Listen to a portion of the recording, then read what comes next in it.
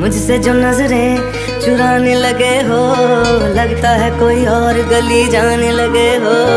खाब जो देखे हम दोनों ने मिलके, धीरे धीरे क्यों दफनाने लगे हो? सानू प्यार लई ऐना तरसाओगे, बड़ा बड़ा बचताओगे